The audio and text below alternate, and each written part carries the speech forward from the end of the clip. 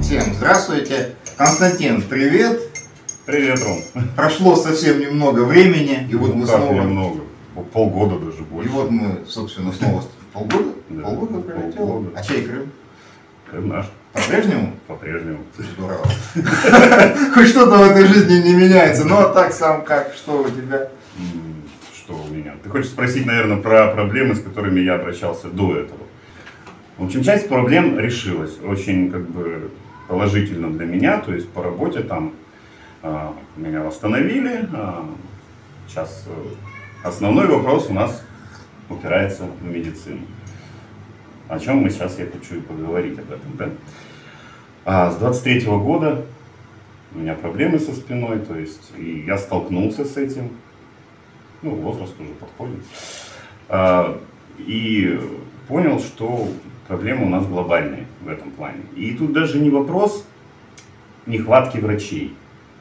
Вопрос нехватки специализации и а, а, самовластия какого-то. Человеческого э, отношения. э, Да, человеческое отношение тоже, кстати. А, Самовластие, еди- единого самовластия начальников. То есть ЦРБ, администрации. А, Ведь проблема-то не у одного меня. Ну, ю- а получается самовластие единиц, да? Да, единиц, которые решают, жить тебе, не жить, лечить тебя, не лечить, скорую к тебе отправлять, не отправлять, в терапию тебя класть, не класть. Вот. И Похоже, похоже на какой-то феодализм, прошу прощения. да, да, в том-то и дело, что а, много у меня появилось знакомых, да, и некоторые друзья у меня, да, с такими же проблемами. А это бич 21 века, вот сейчас остеохондроз, эти грыжи, они, вот, я думаю, у тебя тоже, наверное, есть. Наверное. Ты просто, просто они еще не обострились, и ты не знаешь об этом. И слава богу, и никогда не узнаешь, надеюсь. Вот, Не дождутся. не дождутся, да. И мой случай. То есть лечение началось в 23 году. Наши врачи, ну потому что компетенции у них нет, то есть невролога у нас нет, настолько терапевт. Подожди, невролог на сайте, на сайте есть невролог, есть там даже какой-то еще супер. Но это опять-таки мы уходим к тому моменту, видишь суслика? Не вижу. Ну, Ты хочешь сказать, что а это он есть. лукавство? Что это лукавство на сайте? Ну, хочешь так Ну, предположить? Можно, да? Предполагаю, что так, да, потому что ну, невролога, нейрохирурга у нас точно нет. То есть вот моя история, да, на фоне там э, сидячей работы, э, физической большой нагрузки э, и острого респираторного заболевания вылезает дикая боль в спине, не дает ни ходить, ни сидеть, ничего. У нас этим занимаются кто? Только терапевты в поликлинике. У них стандартный набор уколов, они тебя там 15 дней колят и отправляют обратно на работу. Ну, очень хотят отправить. То есть, если ты не борешься, тебя отправят на работу. Если ты борешься, говоришь о том, они не имеют права по 323 федеральному закону отказывать тебе в лечении. Но у нас почему-то на местном уровне никто не знает про этот 323 федеральный закон о здравоохранении. Ну почему он достаточно популярный, 323 Там даже есть пункт очень популярный, очень любят его граждане СССР 2.0, как они себя называют. Там целый пункт на около 50, по-моему, страниц о трансплантации, кстати, органов. И там из, из этого пункта следует, что трансплантировать можно даже, кстати, э, ну, детей нельзя, но если случай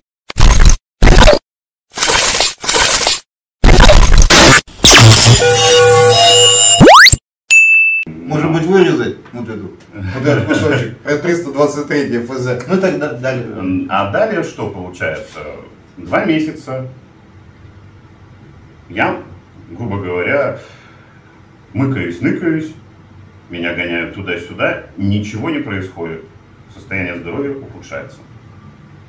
Я добиваюсь, то есть, вот, допустим, у меня есть знакомая бабушка, она не может этого добиться, но она не может ходить, да, то есть она уже просто махнула рукой, говорит, я умру уже, ну все, ничего делать, ну все, ну, ну не лечат отказывают. То есть, что ты пришла? Вот что ты пришла? И мне также говорили. Ну, я как бы человек грамотный, да, я говорю, ну, вы не имеете права этого делать. Говорю, вы же понимаете, что, ну, это как бы незаконно. И мне после вот этих нескольких разговоров дают направление в Хабаровск, я приезжаю, делаю МРТ, иду к неврологу, по записи бесплатно все, да. Невролог смотрит МРТ, говорит, батенька, это не мой вопрос, это вопрос нейрохирурга. А у меня уже ноги начинают отниматься потихоньку, то есть, ну, я даже жене говорю, не очень ничего не понимаю, встать не могу, ноги не ходят. Ну и все. Э, я иду за плату к нейрохирургу во вторую краевую больницу. Там нейрохирург смотрит на МРТ и говорит, опа, дорогой друг, а ты вообще, ну, как бы, жить хочешь, ходить хочешь? Я говорю, ну, хотелось бы. Он говорит, ну вот иди сюда смотри, у тебя вот защемление, да, выпавшая грыжа, у тебя давит на спинной мозг. Если ты, говорит, не сделаешь операцию, ну, в принципе, ну, скоро ты будешь лежачим. Я приезжаю сюда, у нас такие глаза у терапевтов, да вы что, а мы думали просто остеохондроз. Да, не знали. Ну, ну, конечно, у них нет компетенций. Мгм. Стандартный набор этих медикаментов, которые колят, медикал, мафлутоп и так далее. Им говоришь, что не Ну, помогает. может, тогда им не надо лечить этим терапевту. Терапевта, может, вам тогда не надо лечить, а то люди так вот приходят Да. на приеме. А я же депутат, я же не терапевт. терапевт участковый должен быть, но он должен понимать, что а, некоторые понимают, просто они же опять-таки зависят от начальников. То есть начальник говорит, вот главврач, говорит, вот у меня в комиссии ВК я и мой зам, и мы решаем, кого лечить, кого не лечить. Вот этот мне не нравится, все, он пойдет, он здоров. А вот этот вот мне нравится, я его положу, полечу. Ну или там с большого пинка, там, когда уже, извините, дали, ну ладно, положим. Это вот я Ну, немножко вперед Подожди, забегаю. но это получается на фоне, на фоне вот этого, даже вопрос отсутствия хирургов, он меркнет. У нас получается вообще отношения вообще Да, очень я, странно. я про что и говорю. Я делаю операцию, то есть дают мне направление, я делаю операцию, возвращаюсь, 4 месяца реабилитации. Я лежал с одним парнем, зовут его Иван. Нам вместе сделали операцию. Одинаковую. У него получше случай был, у него защемление меньше было. Но он живет в Хабаровске. И мы с ним на связи до сих пор хорошо общаемся. Я приезжаю в Николаевск, мне просто продляют больничный, причем стараются поскорее закрыть. Врачи не скрывают, что с ними проводят беседы и администрация ЦРБ, и администрация района, ну, потому что у меня с ними конфликт. Ну, не у меня с ними, а у них со мной. Потому что, ну, я имею свое мнение, как бы считаю его правильным, они не считают, что это мнение правильное. Ну, сам знаешь, как у нас там это все решается. Сталкивался с этими людьми. Ну, да, знаком. Да. знаком. Вот. И получается как? Товарищ мой в Хабаровске, сразу говорю, в Хабаровск, Москва, э, территория Сириус, там, Новосибирск. Вопросов у врачей там не возникает. И они сразу спрашивают, вот я, допустим, приезжаю какие-то там сдавать э, э, исследования проходить, анализы какие-то, лечение, реабилитации. Начинаем рассказывать случаи в Николаевске, они говорят, почему так? Почему вас не лечат? Ну, мы видим, у вас все показания. Я говорю, я не знаю. Они говорят, они что, ну, как бы законов не читают, они бессмертны или что такое? То есть там у меня вопросов нет. Приезжаешь, и тебе все делают. То есть там как большая земля. Мы вот где-то вот здесь вот в какой-то фидальной деревне живем. Приезжаешь в Хабаровск, все, тебя лечат. Нет. вопросов не Да, возникает. на карте мы тоже, знаешь, так находимся, тоже так, э, не- тоже д- далеко. Да, то есть Далеко. вопросов у врачей там нет. И они понимают, они говорят, да, то есть бывают такие э, ситуации, там, и до года можно сидеть, а иногда там, если обострение, ну, все, все это, ну, даже сам нейрохирург, другой, который меня смотрел, говорит, я сам спинальник, 15 лет, как бы, мучаюсь этим. Я, говорит, спасаюсь только шмаковкой. То есть, ну, он из Хабаровска на поезде ездит в, в- в Приморье, в Шмаковку, говорит, вот там все там нормально делаю, раз в полгода я туда езжу. Раз в полгода, понимаешь? А у нас, я 4 месяца просто вот так вот, э, меня гоняли на приемы раз в 15 дней и пытались выписать. Врачи мне, ну, рядовые, я понимаю, они подневольные люди, запуганные, Ну, конечно. запуганные. То есть им говорит главврач, все, этого с, с пляжа. Мгм. Они ничего не могут сделать. Тем более ВК его. То есть он комиссию врачебную сам подписывает. То есть он решает, будет у тебя больничный, не будет, лечение будет, не будет. Подожди, главврач получается, он главврач, он руководитель хозяйственных всей больницы, руководитель Да. всего, плюс еще руководитель комиссии ВК. У него Да. специализация-то какая? Него- Ну, насколько мне известно, Ну, гинеколог. Ну, на сайте должна информация быть. Но если Но на гинеколог, сайте значит, нет. Ну, На значит, сайте нет. Ну, если гинеколог, значит, должен по гинекологии там что-то возглавлять, наверное. Ну, Может, если, может. если там вопросы, да? А ВК? А если по нейрохирургии, ну ты никак не можешь этого делать. То есть Может быть, А- он само... Подожди, может быть, он самоучка какая, просто он, может, понимает. не- всё. нельзя, Нельзя? нельзя. У врачей есть э, специализация. Подожди, ну ты... Каждые пять лет они там подтверждают свою квалификацию. А, Кто-то там э, первую категорию, кто-то вторую, кто-то высшую. Вот у меня мама, допустим, была специалист высшей категории, ну то есть врач высшей категории, рентгенолог. Она э, всему району нашему делала это, описывала ре- рентгенологию. Э, И другие снимки смотрела, потому что у нее была специализация, она могла смотреть не только легкие. То есть у нее там она могла и перелом где-то глянуть, там, и еще что-то, да у нее это было, она этому училась, она в Хабаровск ездила и каждые пять лет подтверждала свою квалификацию. Насколько я знаю, у этих, ну, по нейрохирургии точно нет. Подожди, ну смотри, вот, ну судя по тому, как вот, как вот у нас а, приезжал в Рио губернатор, а, товарищ Демешин, судя по тому, в каком состоянии находится вход центральный в отделение хирургии, ну им просто даже, понимаешь, я такое ощущение, там ребята заняты просто все делом, они изучают нейрохирургию по книгам, и хозяйственнику нашему, ему просто некогда заняться хозяйством.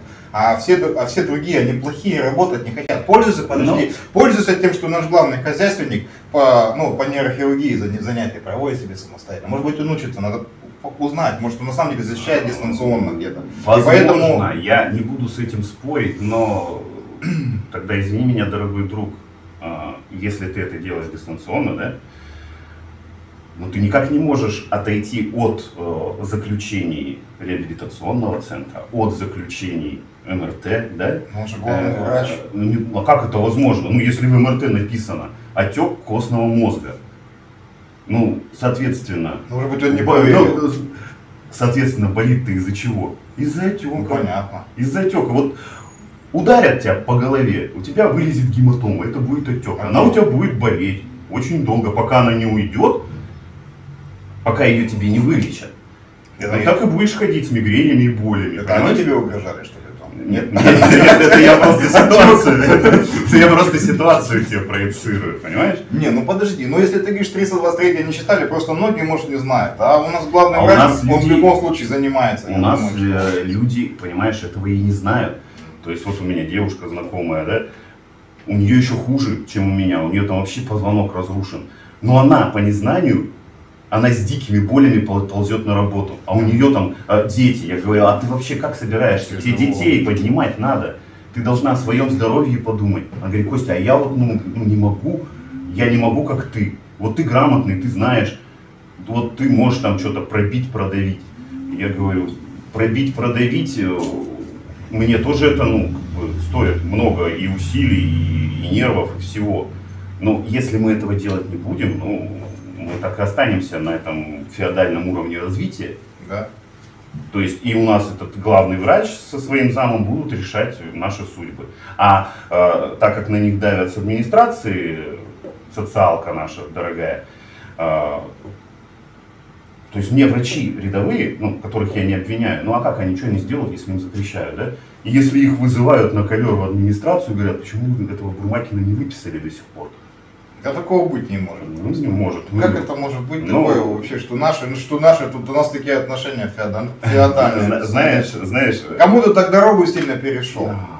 Ну, заместитель у нас главы по социальным вопросам. Все, все мы знаем ее. Бессменная. Я, я очень, я знаю нашего заместителя, я знаю Светлану Владимировну, это замечательный человек. Вот, э, среди людей администрации за- занимает такие прям, ну мне можно я все расскажу, занимает такие прямо очень такие четкие, эффективные позиции.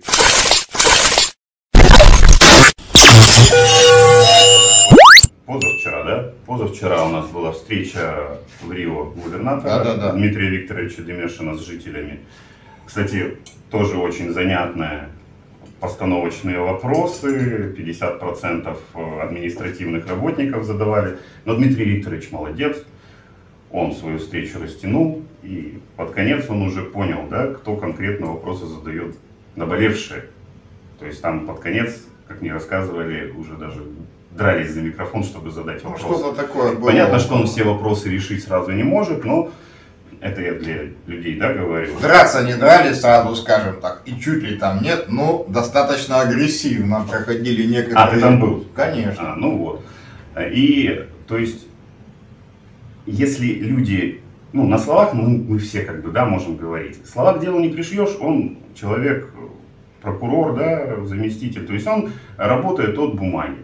То есть я вот написал обращение, я знаю, у меня есть на это доказательства, все там, э, э, мои э, выписки там, да, мои э, разговоры с врачами, где там откровенно говорится о том, как, что это происходит, и почему, и для чего.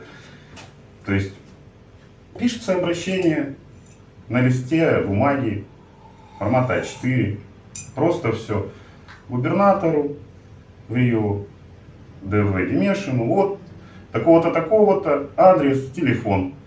И суть проблемы. И все принимается. То есть, ну, конечно, там в, в соцсетях, когда ему пишут, я проходил, я сам несколько раз ему писал, почему я и пошел на встречу, чтобы вот, ну, лично а, замыливается. Даже у него, а, он сейчас чистит, да, правительство, но есть его помощники, которые вот отвечают отписками. Вот он очень хорошо сказал про прокуратуру. А у вас что, прокуратура не работает? Да не работает. Не работает. Сколько я писал, мне приходят отписки. Я решил свои вопросы, два суда выиграл. После этого мне приходит от нашей прокуратуры, знаешь, какой ответ? Замечательный. Вам были разъяснены ваши права. А, вы э, в суде защищаете свои права. То есть вас восстановили там-то. Какие мы молодцы, мы вам помогли. Так я сам все это сделал, вы мне ничего не помогли, у меня куча ответов Давай сразу маленько еще тогда в сторону. Ты говоришь обращаться непосредственно к Демешину, где он сказал, у него ВКонтакте, у него, по-моему, На Телеграм, Телеграм, да, да, да. все отлично, можно обратиться, где-то отписка, а где-то и пройдет. Да. И вот такие мероприятия тоже. Либо, либо еще можно написать депутат, у нас есть замечательные депутаты, у нас есть Антон Актямов, у нас есть э, Худяков Михаил, у нас есть Я э, думаю, надо брать выше. Гладышев, да, э, Краевого надо брать, Краевого пока еще не переизбрали. депутата. Но когда переизберут, уже ну, нового. Гагик Рафикович Да. Вагимян, конечно Да, у же, него да? есть заход, то есть он может Конечно. спокойно зайти. Так он об этом вчера и говорил. Вот, к ним. Но есть еще организации, которые просят, говорят, вы нам пишите. Ну вот, например, такая организация, как себя позиционирует мы, общественники, я буквально 30 секунд, Кобру. Я уже об этом записывал Это обращение. больная тема. И люди, да, и люди как бы мне говорят, это кто такие? Я говорю, ну, как бы я отсылаю к своему видео обычно и говорю, вот посмотрите, кстати, кому, если интересно, это вот, я ссылочку тоже размещу под видео, вот на это вот э, явление природное здесь. Поэтому, как бы, ну, вы смотрите, они как бы вас просят, отбирают личные данные у вас, да, еще, вы им пишете, они вам пишут, ну, вот как вот эта прокуратура, ну, вот вы решите, решаете свои проблемы. Тоже тут, это что, хабардисты, что ли? А дианетики там? я думаю, ну... Мы делаем все, чтобы люди сами решали свои вопросы. То есть помогаем им, развивая в них силу воли. Кстати, да. Это вот. вот похоже на прокуратуру. Так, подожди, так это же саентологи так работают. Что, саентология, что ли, у нас? Короче говоря, вот про эту организацию я вам скажу просто, вы, э, вы так, вы смотрите, как бы, да, есть Демешин, есть депутаты, есть районные, городские, есть краевой депутат Николаевский, уровня ЛДПР, серьезной партии политической, которая тоже в парламенте представлена, да, смотрите, я вот, я как представитель партии КПРФ, я не зову коммунистов, там к нам, депутатам, скажите, пойдите к ЛДПР, я не пиарю КПРФ, я наоборот говорю, вот у нас много депутатов, хотите, придите на прием, конечно, и к нам, ну, для чего писать кому-то, допустим, кто-то назвался, я вот э, Надежда, например, Европы, приходите ко мне, пишите, или друг Путина, вы приходите ко мне и пишите, да, ну что за бред какой-то. Поэтому пишите непосредственно, либо губернатору, либо депутатам, собственно, либо, либо, либо, либо куда конкретная инстанция, куда вам надо написать, собственно говоря. Вот И- хотелось добавить. Да, я тебе хочу сказать, что вот куда я только не писал, э, в основном идут отписки. Но есть э, такое правило 100 писем. Если кто не знает, а, может смотрел фильм, да, «Побег из Шоушенка», вот там вот сиделец добивался библиотеки. И он писал каждый день по одному письму в судебный департамент, э, в департамент этих тюрем. Писал, писал, писал, писал. В итоге дали там через месяц, через два, я уже сейчас не помню. Когда дали, он сказал, а теперь я буду по два письма писать в день. Вот, понимаешь? Ну, вот, ну, у нас, видимо, по-другому не работает. То есть у меня уже куча этих отписок, у меня прям папочка создана от разных инстанций. И я не буду говорить, я не буду скрывать, вот помощник, да, у Дмитрия Викторовича, ну вот тоже как-то отнесся, видимо, ну, спустя рукава или что, то есть я говорю, я готов вам все предоставить. Но они что делают? Они запрашивают в Николаевской ЦРБ информацию, и на основании этой информации, не проверив ее никак, дают мне ответ отписку. Но это со- согласно 59 федеральному закону, они нарушают пункт, который четко регламентирует то, что нельзя писать, отсылать, э, делать отсылку жалобы тому, той организации, на которую э, жалуются, собственно. А у нас это повсеместно И происходит. Это как-то оно непонятно. Да, я думаю, что вот этого помощника товарища Демешина нужно отправить на практику к пулемету Дегтярева, чтобы он там потренировался, Может подавать, быть. подавать ленты, и было бы вот нормально тогда, да? Может быть. Ну не успевает человек тоже, нет, ну согласись, помощник один, а людей очень много. Я понимаю, и я понимаю, что Дмитрий Виктор- Викторович не может все ну, отследить, и, помощник- кажд- и каждого помощника И отследить. помощник пошел ну, по пути наименьшего сопротивления, Конечно. запросил Конечно, у КГБ. конечно, Ну, конечно, да? конечно. Ну вот. НЦРБ. Они, соответственно, ответили, что да. Ну, они что, они будут говорить, да, нет, вот мы вот действительно, да, у нас самовластие, мы злоупотребляем. Извините нас, пожалуйста, сейчас мы все исправим. Нет, ну, такого, такого не скажете. Ну, я про что ну, говорю. ну, ну, давай к делу-то. Да ты, ты, весь, ты весь реально, ты болеешь. Я помню, как ты тоже вчера же приходил, ты на стуле долго Да. на этом не усидел. Смотрю, в поту весь сидишь, смотришь. Да я в товарища. Демешина. А я вижу, у тебя опять начинается приступ, Ну, да? потому что да. И ты при всем при этом, ты двигаешься, они заставляют тебя двигаться. Ты пойдешь в ТИК работать, да, когда выборы пойдут. А, Смотри, в ТИКе как? Я бросить-то его не могу, ну, потому что, э, ну, ребята там еще неопытные. И ну, пожалуйста, Костя, ну, мы понимаем, что там болеешь и так далее. Ну, я говорю, да, естественно, нас не брошу. Конечно, конечно. И придумаю, как там и, может быть, и привлечь где-то, да. Но они все понимают. Есть понимающие люди. То есть у нас есть и руководители некоторые в- здесь в районе, которые идут да, навстречу, там, понимая, только работай, только делай, пожалуйста. То есть лежи, как хочешь. А вот есть вот конкретно такие вот как... Ну, в общем, да, про выборы.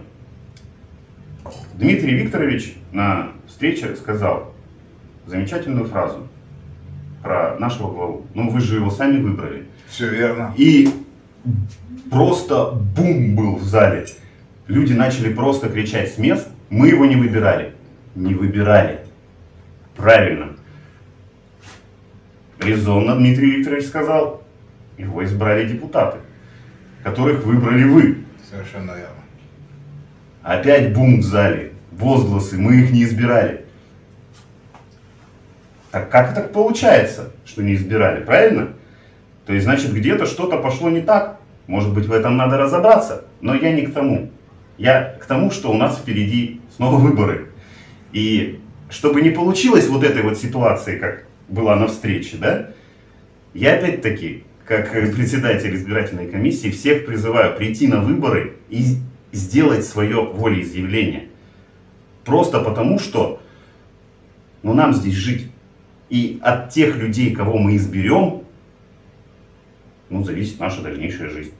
То есть, вот, допустим, избрался у нас депутатом э, Роман Зайцев.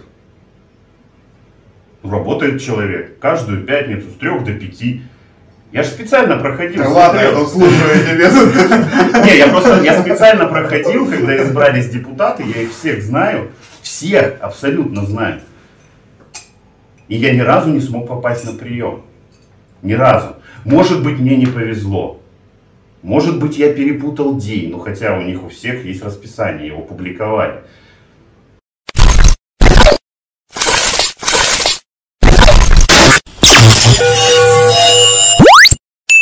В общем, про выборы, да? То есть, продолжаем. Все, я всех призываю прийти на выборы и сделать свое волеизъявление. Я понимаю, что а, у нас, допустим, по списочному составу, даже на моем участке 700 человек. на выборах президента показало, что э, ну, 300 человек прийти могут. Остальные это люди, которые там прописаны и не живут. Не живут, либо уехали и так далее, по каким-то своим причинам. Но, проблема. да, то есть люди все равно должны все прийти, и чтобы у нас не получалась такая ситуация, что потом мы губернатору говорим о том, что мы не избирали главу. Я понимаю, что по факту люди-то его не избирали. Самоизбрание Потому произошло что, они не, потому что они не приходили на выборы, сказать? Да, да. То есть там есть определенный а, круг, ну то есть блок социальщиков, да, кто боится за свою работу, которым говорят идти и голосовать за того-то, того-то. Вплоть до отчетности, что ты проголосовал. Понимаешь? Ну все это прекрасно знают, как это делается. А остальные люди, смотря на это, не идут на выборы. Думают, ну а что, мы же ничего не решим. Да решим. Если вы придете и проголосуете ответственно, Выборы 2024, и мы вернемся поближе к выборам и запишем еще небольшой пилотный выпуск. А сейчас вот я хотел бы, Костя, ну ты вот рассказывал про Ваню, там, Ваня там Да, на- вместе да, лежали. да, да, да. Я отвлекся, мы ушли на другую тему. Меня здесь не лечат, то есть гоняют каждые 15 дней. Я должен прийти в поликлинику на отметку, ну и там занимаются моей выпиской скорейшей. А Иван Хабаровский сразу после того, как его выписывают с ККБ номер 2, начинает проходить лечение реабилитационное. Ну, мы с ним на связи, он мне рассказывает. И он через два месяца начинает скакать, как сайгак. Мгм. Говорит, все отлично. Мгм. Так, естественно, тебе дали лечение. У него там и в железнодорожной, он железнодорожник, он в железнодорожной больнице. Он говорит, у меня и там, и то, и то, и укол там да, восстановительное, все. Говорит, две недели я плотно это занимаюсь, все, я чувствую, что меня ничего не болит. Я говорю, я понимаю, наверное, если бы меня так же, ну, как бы лечили, Мгм. я бы тоже, наверное, побежал. Но у него там проблема произошла. А, Он вышел на работу после этого, ну, как ему полегчало. Ну, я бы тоже вышел, если тебе полегчало. Ну да. А, И где-то через месяц, ну, без фанатизма надо это делать. Он крановщик, и он, ну, на фанатизме, и, короче, через месяц он опять заезжает на больничку, потому что криз. Мгм. Но опять-таки, ему сразу все делают, и тьфу-тьфу-тьфу, ну, он там раз в три месяца или в четыре тоже проходит вот эти курсы. Но он уже себя чувствует человеком. То есть у него нет этих постоянных болей. А я вот сейчас с тобой стою, а у меня боли постоянные. То есть э, полгода э, мне кололи лекарства за мой же счет, которые мне не помогали. Я говорил о том, что они мне не помогают. То есть я сижу на обезболивающих. Мне скорую, последний раз, когда я вызывал, мне скорая вообще сказала, ну а что вы, лечитесь сами. Ну изначально они э, проговаривали то, что главврач нам запрещает и так далее. Пару раз кололи трамадолом. Хорошо помогал. Ну а одна скорая приехала, сказала, ой, это кто-то вам прям расщедрился, у нас тут Не, ну, трамадолы, конечно, они там уже там серьезные такие препараты. Да. Они же не могут их постоянно каждый И день только, и только в терапии, когда я пролежал, когда начали исполнять рекомендации нейрохирурга, а, терапевт, которая меня вела, а, она добавила дексаметазон. И мне его не сразу начали колоть, а где-то дня через три после того, как я лег, ну, потому что у меня боль, я прошу, ну, обезбольте, обезбольте. И тут медсестра вспоминает, а, там, там же та, тоже прописали какие-то уколы. Приходит такая, раз, вколола. И через полтора часа я такой, опа, а я что, живой что ли? Я что, не деревяшка, я могу как бы, ну, двигаться. И боль как бы ушла. Я Я говорю, У меня же за... я, я, по- я тебе говорю, это прям, ну, вот так и было. И я сразу иду, еще медсестру говорю, вы что мне укололи? Она такая, что такое, что такое? Я говорю, нет, я просто хочу знать, что за лекарство. Говорю, ну, мне по- полегче стало, скажите, пожалуйста. Дексаметазон. Ну, Ты запомнил. Сейчас я тоже запомнил дексаметазон. Копеечный, понимаешь? То есть не афлутоп, медикам, который тысячу стоит, за, за свой же счет я покупал, мне кололи, которые не помогали. Мгм. Дексаметазон, 150 Слушай, рублей. Ты ну, подожди. Ты еще не, еще не это все. еще не все, да. И я открываю фармакологию. Ну, человек же грамотный, читать-то умеет. Мгм. Вот. И я читаю. Снимает отек мозга. Ничего себе.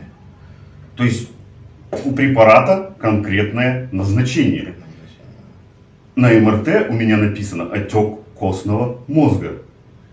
Дорогие друзья, ну 2 плюс 2, наверное, можно сложить? Алгоритмы сбились, скорее всего. Да. И полгода они не могли этого ничего...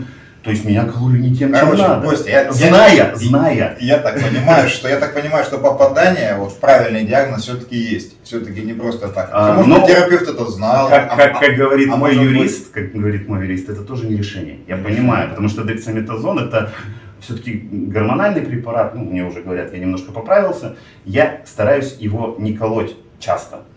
То есть я скорую сейчас не вызываю. Ну зачем ее вызывать, если мне открытым текстом сказали, что, дорогой друг, ну запрещено. То есть я, чтобы в терапию лечь, я семь раз вызывал врача на дом. С четвертого раза только ко мне приехали.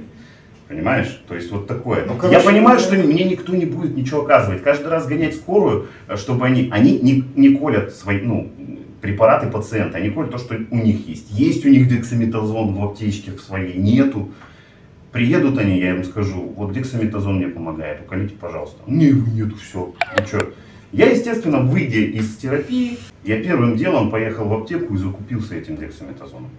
Но я им не, не злоупотребляю, то есть я терплю, я хожу, я хромаю. Когда уже совсем начинается, я, у меня есть человек хороший, который мне может уколоть его. Я к нему еду, он меня колет. И я как бы расправляюсь и иду дальше. И на этом живу. Пока. Ну вот мы сейчас с тобой встретились, Но- у меня такое ощущение, что ты горец получается, они тебя что-то получается, вот я слушаю, получается, чел- человека получается просто вот, ну, изживает, изживает из этой жизни целенаправленно, ну я депутат, могу об этом сказать, да, целенаправленно выкатывает его из этой жизни, а он живой. Это Горец, ребята, у нас сегодня Горец. Горец Константин Бурмакин. Константин, мы продолжим, мы вернемся, администрация уже закрывается, поэтому надо идти, надо А, идти. да.